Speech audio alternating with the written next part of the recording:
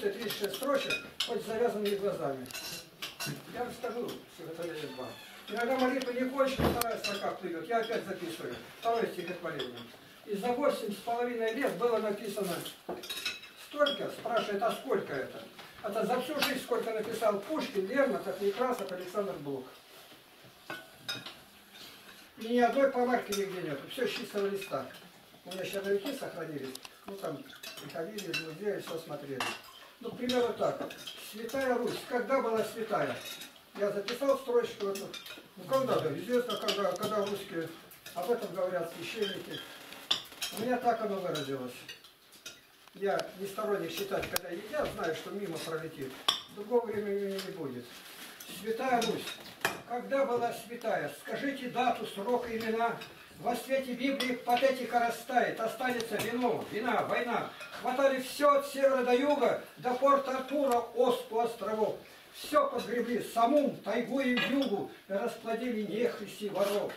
Кто хуже нас сокровища земные, транжирит, жжет и рубит по весне. Мы опостылили от века и до ныне Прибалтике, татарам и Чечне.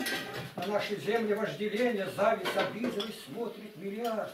Весь мусульманский мир, там добровольцев запись, у нас отнять за счастье каждый рад. О Боже, проповедников пришли, служение Богу на родном, на русском, крещение духом водное в крови. Тернистый путь и ход уж очень узкий.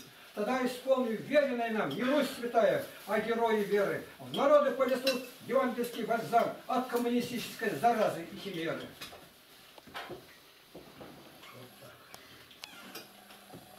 Теперь я на море. И в это время отрицательная температура, вода бьет, наращивается с одной стороны лед, и ничего нельзя сделать. Короткое время, и корабль пойдет ко дну. Отвлекитесь от этого. Рыбацкая шуна с волнами боролась, стремительно крен возрастал, смятение росло, но раздался вдруг голос и всех на молитву призвал. Волна через корпус не раз пробегала, был лопасти виден плавник. Как туша убитого кем-то финвала, корабль под ударами слив. Остались минуты, а дальше развязка. Объятия холодной волны, над пропастью мглы с ледяной повязкой, о чем бы подумали мы.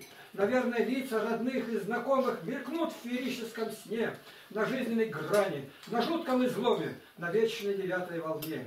Иные клянут капитана, стар меха, проклятие всем и всему. Окончена жизненная чаша утеха и брошена разом волну.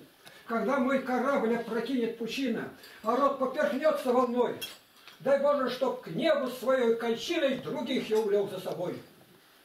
Эти все, что рассказывают, положено на музыку в интернет, подошли с композитора. Место